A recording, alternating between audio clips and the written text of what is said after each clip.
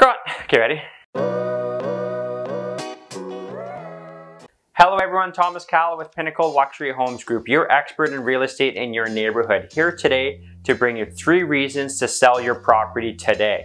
Number one, low inventory. We are at an all-time low for inventory in Greater Victoria, which means if you're selling today, you have less competition. And if you have less competition, means higher and stronger pricing for your home or property.